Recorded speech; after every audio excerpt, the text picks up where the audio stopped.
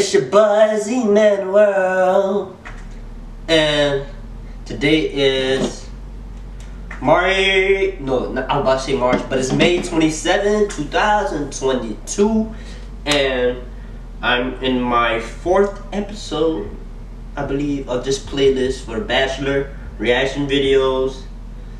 The episode is episode 6 and 7. This these episodes are about Genevieve. The first one is about Genevieve and Shanae. The second one, I'm not gonna spoil that, but make sure you like the video, comment what you think about the video and what you think about the things that I've discussed in this video. Share on social media with your friends, share the link, post this on social media, screen record, do whatever you gotta do. And remember to scroll down the video until you see the channel's name and subscribe to the channel. Let's get into the video then. Your way, but if you have moderate to severe rheumatoid arthritis or sorry.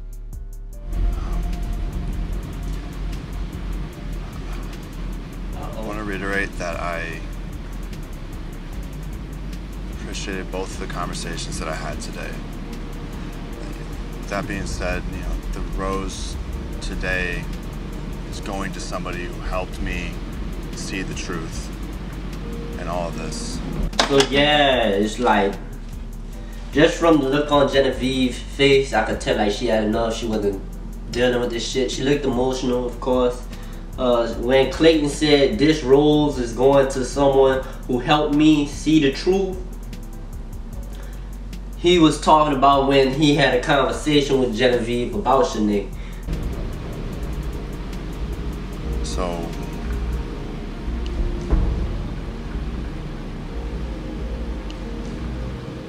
Shanae, I just am so sorry, but I cannot find it in my heart to give you this rose. So, Genevieve, will you accept this rose? Shanae probably conversed with him about Genevieve, but whatever Genevieve said was pretty strong. Like, she, it probably was outstanding compared to her about Shanae character, compared to what Shanae probably said to Clayton. And Genevieve was also obviously emotional, like I said. So I remember the episode, but I forgot what the conversation was about in the two-on-one date with uh, Clayton and both of them.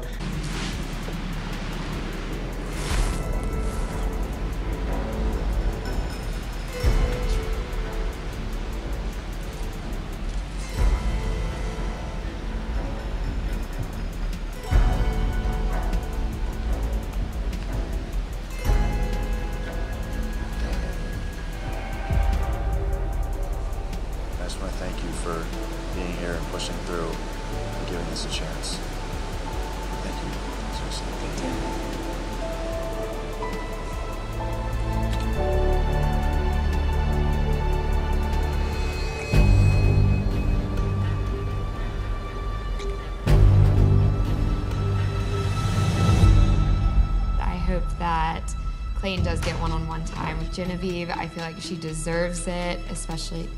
I'm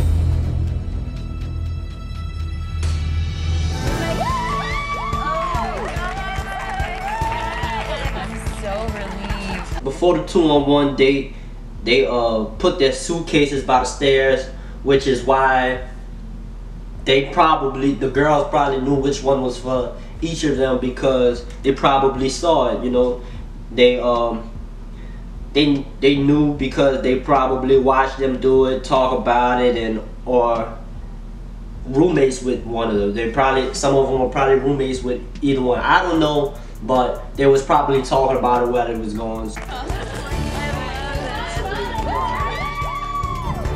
Genevieve! Genevieve! We made it. We beat out evil.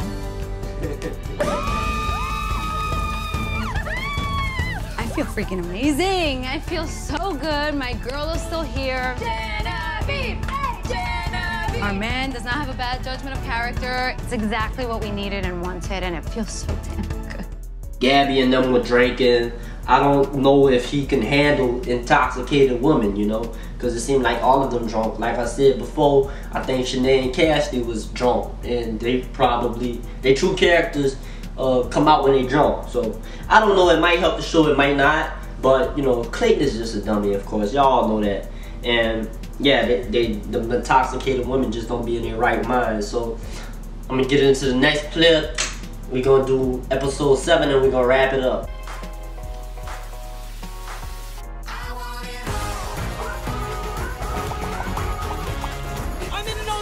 Commercial. Are you nervous? I'm nervous. Very nervous, yes. Why so? Um, I am. I don't like talking about my feelings, and I don't like being emotional in front of people, especially crying. So I try to um, kind of put it off as much as I can. But try. Try to express what you feel.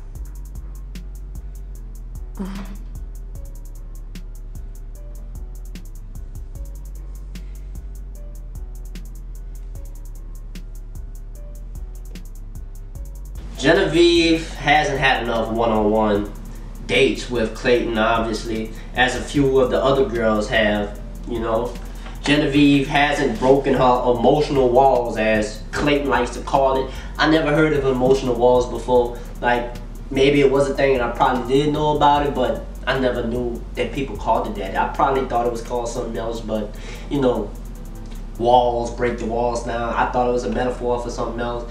I wasn't familiar with them saying it like that until the show. I kind of felt uncomfortable hearing that, you know. But yeah, she didn't, you know, tell him how you feel and how comfortable she was with him. She probably has trauma, mental health, or personal issues she doesn't want to share, like a Serene did, Rachel, or Marlena, or even a Susie does. But you know, like I said, she probably has some issues that she don't want to share. Something probably happened in her family, within her family, or in her life that stops her from wanting to pursue relationships with other men. You know, or maybe she's been brokenhearted before. I don't know what it could be.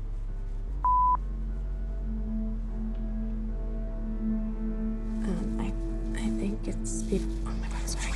Um, I think.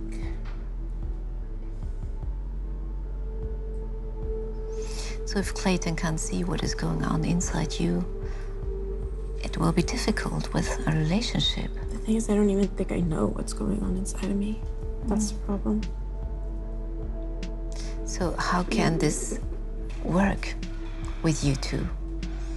What does Clayton need to do? I mean,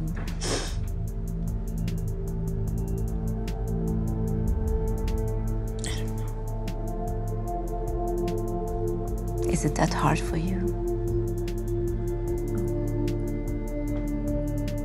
I want to get through and I want to understand like who you are and I think my fear is is just that like I, I wonder if it's possible. You've done every. Like, I hope you know it's not you. It's obviously it's me. Um, Again, I, I didn't want to ever put pressure on you because I understand how challenging this entire environment can be. Um, Texting me, but I mean, hometowns are next week, and I've really wanted to like get like to the point of feeling comfortable doing that. yeah, I um Say what you want. um Jennifer, do you mind if we talk private outside real quick? He should have kept her home after the two-on-one date because that probably was a lot of pressure. And some of these things I just listed, I thought of these when I was reading the comments of this video. So he should have took more time with her. He should have kept her home after the one-on, ah, not one-on-one. It was a two-on-one date after the uh, Shanae, Genevieve, and Clayton date. He should have had her stay home. Uh, did the couples therapy with the other girls, and after that, he could have did a one-on-one date that night. Yeah, he could have did a one-on-one date that night. He could have talked to her on a one-on-one date about the same things he talked about with the other girls in the couples therapies. You know, to get her to break down her walls comfortably. because that two-on-one date was a lot of pressure.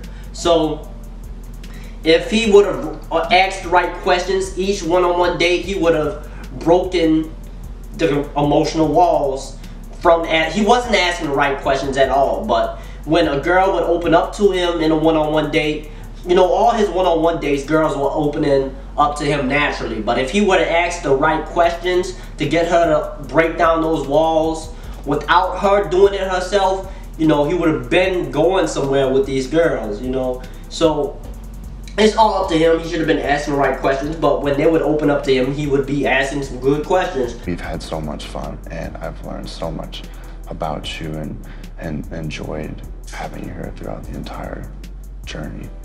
Um, but with hometowns around the corner and having to meet families, I, it's really hard for me to see meeting your family when I'm not able to see what is inside the walls. Of course, and I get that. Yes, I, have taken a long time to um, let my walls down. I haven't even done that completely, so I completely understand. You have very strong connections that I think that you can completely see um, meeting their families, and I can feel and tell that I think we're both not um, at like there yet. It just comes down to I think we ran out of time. Yeah, And so I just want to thank you for being you and for making this journey fun. But thank you, too. It's okay with you. I'd like to walk you out. Yes.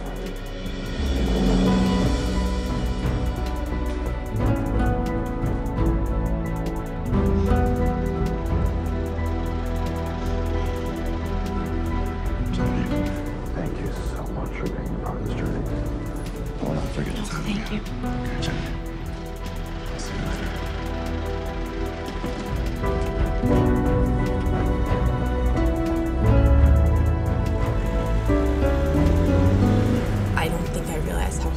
I'm not gonna get anywhere if I don't let my walls down. And even though I don't tell myself keep your walls up, it just happens. Nothing against Clayton. Anyone would be lucky to end up with him. I have some stuff to work on, that's for sure. I can understand why Genevieve was emotional. I just explained that. I don't think she has anything that needs to be worked on, like she said in the car, but she just needed more time. You know, if they was still at that couples therapy and he would have stayed in the therapy with the therapist, um, I think it would have got much further than him talking to her personally. Because if he would have stayed, it, it looked like it was going somewhere, in my opinion. I think if he would have stayed in the couples therapy with her and she would have, you know, talked to the therapist a little bit more, the therapist would have asked her some more questions that would get her to open up. Because it looked like she was going to a place where she was about to get emotional, start crying, and take it slow to the point where she would say some things. I think that was a very good therapist. And she did a good job with the other girls in the couples therapy. Um, but I really have no regrets because I did everything I could. It just wasn't meant to be. It's not that it wasn't meant to be like she also said in the car. Clayton was just not patient enough with her. Instead of being patient with everyone else, he was too patient with Shanae. Okay? I think he wanted to bring Shanae to the end of the series, to the to the end of the show so that he could have sex with Shanae. That's why I think he kept Shanae for a while.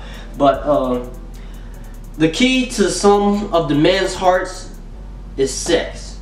Other times it is food or something else. But the key to every woman's heart, in my opinion, is trust. Okay? I, I think about it just like a, a man's relationship with a cat.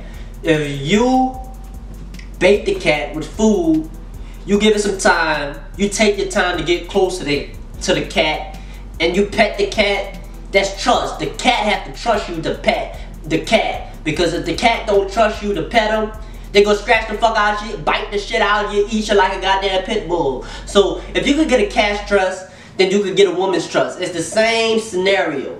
You gotta bait them a little bit. You gotta ask the right questions. And if she opens up, then she trusts you. Okay? So if she feel this, I don't know.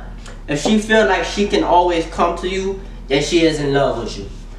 Okay. So that's it of the video.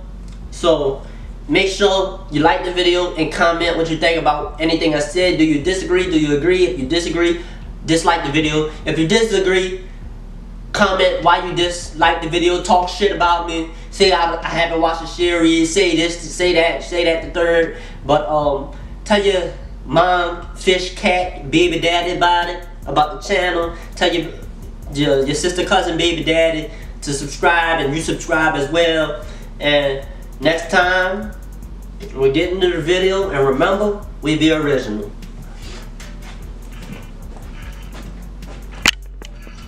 I'm like a bird, I'm soaring in the air, but what's worse?